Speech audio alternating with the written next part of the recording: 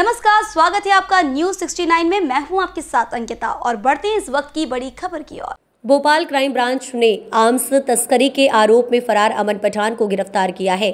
आरोपी अमन पिछले एक साल से पुलिस से फरार चल रहा था। पुलिस के मुताबिक आरोपी से पूछताछ की जा रही थी। निषादपुरा थाना की पुलिस को आरोपी की तलाश पिछले एक साल से थी। Crime branch SP Mukhtar Qureshi ने बताया कि इससे पहले अमन के साथियों को गिरफ़्तार कर जेल भेजा जा चुका है। ये बदमाश पुलिस को एक साल से चकमा दे रहे थे। क्राइम ब्रांच को मुखबिर से सूचना मिली थी कि हथियारों के मामले में फरार आरोपी करौंद में हरी मजार के पास खड़ा है। मौके पर क्राइम ब्रांच की टीम ने पहुंचकर घेराबंदी की और उसे तब पहुँच लिया। आरोपी का कोर्ट से रिमांड लेकर पूछताछ की जा रही है। जी हाँ क्राइम ब्रांच की टीम द्वारा अमन पिता नसीम खान नाम के एक व्यक्ति को गिरफ़्तार किया है, जो हथियारों की तस्करी में लिप्त था।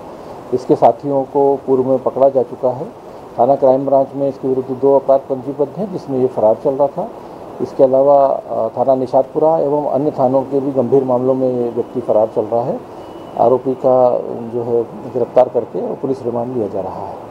क्या किस तरह से हथियार की सप्लाई करता है? सब क्या था इसमें? इन लोगों का एक गिरोह है जो हथियारों की जो है लोगों को सप्लाई करते हैं और विस्तृत पूछताछ इन लोगों से की जा रही है। ये साथियों के साथ सक्रिय रहते हैं। इस खबर पर आपकी क्या राय हमें कमेंट सेक्शन में ज़रूर बताएँ। तब तक के लिए धन्यवाद।